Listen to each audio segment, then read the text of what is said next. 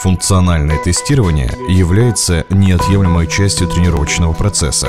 На практике, благодаря данным регулярного тестирования, можно отслеживать изменения физической работоспособности.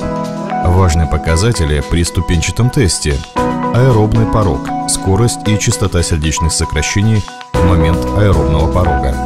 Анаэробный порог или порог анаэробного обмена, скорость и частота сердечных сокращений в момент анаэробного порога. Методика проведения ступенчатого теста. Тест проводят после дня отдыха, замеряют частоту сердечных сокращений и лактат в покое. Проводят разминку 10-15 минут на частоте сердечных сокращений 120-130 ударов в минуту. Замеряют ЧСС и лактат после разминки. Далее, первая ступень. 3 минуты, скорость 10 км в час. Замеряют ЧСС и лактат. Вторая ступень. 3 минуты, скорость 11 км в час. И так далее. Доза кисления выше 4 ммоль на литр.